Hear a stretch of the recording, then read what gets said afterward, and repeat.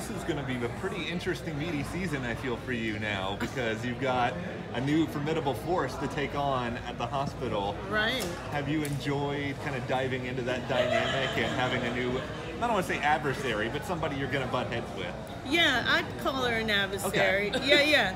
But you know, I think what is kind of cool is they both women really want the same thing. Yeah.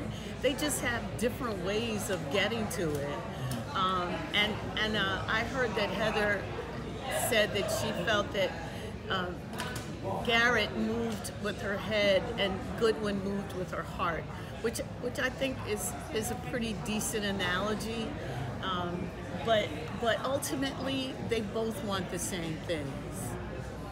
So yeah, I, it's going to be fun. It's already started out that way, you know. What's it like having Heather on set?